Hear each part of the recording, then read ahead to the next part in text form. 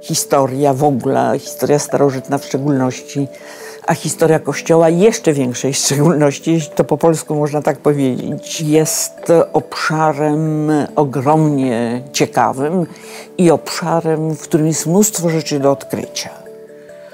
To jest książka, która wykorzystuje najrozmaitsze materiały, która wykorzystuje wiedzę o krajobrazie, wiedzę o zabytkach, e, o budowlach, o ich wyposażeniu. Wykorzystuje teksty, które mnisi napisali, dokumenty pisane przez urzędników, rejestry fiskalne, jako że mnisi musieli też płacić podatki.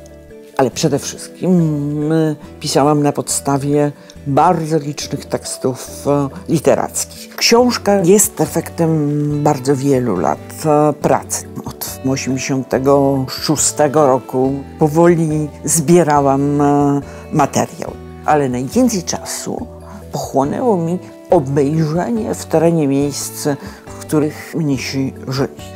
A trzeba wiedzieć, że klasztorów w Egipcie było ogromnie wiele.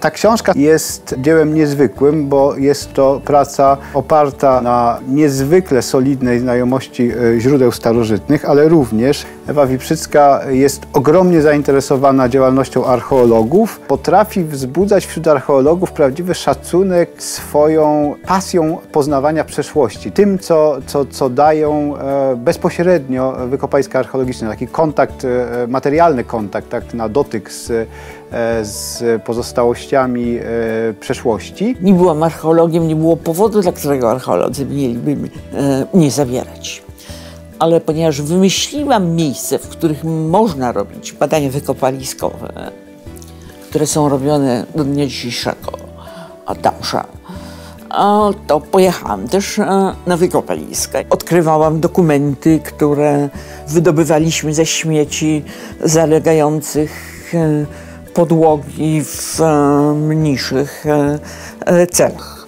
To wszystko spowodowało, że wiedziałam, czego mogę się spodziewać po materiałach archeologicznych. Wiedziałam, jak tym materiałom archeologicznym zadawać pytanie. Samoświadomość własnej pozycji badawczej, własnej metody, e, a przede wszystkim ograniczeń własnej metody, ograniczeń własnych źródeł jest tym, co e, zapewniło E, profesor Liprzyckiej pozycję międzynarodową w badaniach nad egipskim kościołem. To, co jest dla e, profesor Liprzyckiej bardzo charakterystyczne, to, że starała się przez długi czas tworzyć pewne środowisko. Środowisko składające się po części z jej własnych uczniów, z innych e, ludzi przychodzących na jej seminarium, ludzi, którzy reprezentują bardzo różne dyscypliny. Prawnicy rzymscy, archeologowie, historycy, filologowie klasyczni. Przyznaję, że jestem zwierzęciem stadnym, e, które żyje w zespole, bardzo dobrze razem pracującym. I je rozumuje nieustannie kategoriami tejże zbiorowości, jej interesu, jej prestiżu. Nagroda fundacji to jest nagroda dla środowiska. Ta książka tutaj powstała. Ona się brała z dyskusji tutaj.